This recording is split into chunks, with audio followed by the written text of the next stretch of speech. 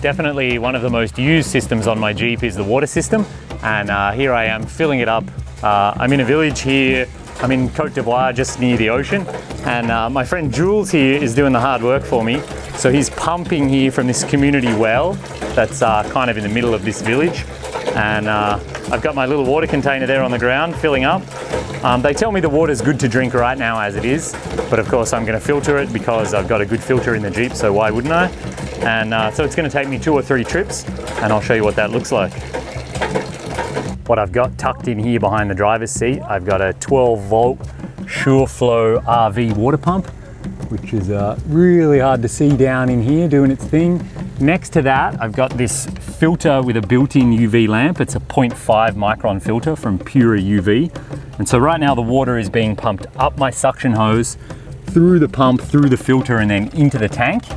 And uh, what I've also got here is a little depth gauge. So I push the button here, and in real time here now this gauge is updating. So there I've just passed 90% full on my water tank. So uh, I'm getting close to full right now.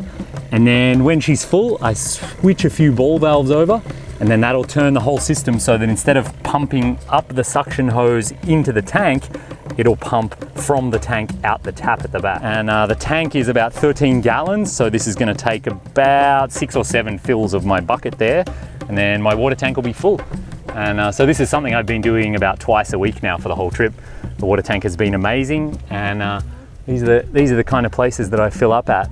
You can see here I'm just sort of in the middle of this little village, really, really friendly people, happy to have me fill up my water here which is amazing. The water tank itself is mounted under the Jeep. Uh, it's between the drive shaft and the frame rail opposite the gas tank. It's really, really hard to see. This is it here. I've got a skid plate on it.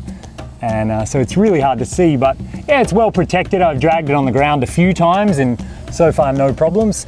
And uh, I'm really happy that the weight is down so low and that it's centered between the front and rear axles.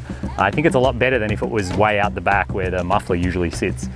And of course the whole setup is powered by the two solar panels that I've got on the roof, which right now in the midday sun are making a huge amount of power.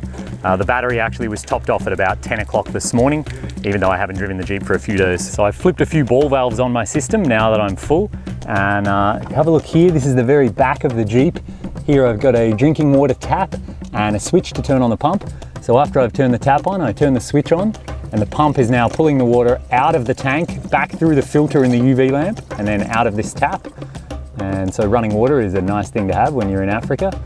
And just like that, I have double filtered, double UV treated water straight out of a well in rural Africa It's great. If you want to build a system like this in your own four-wheel drive, you can check out the write-up that I did on my website.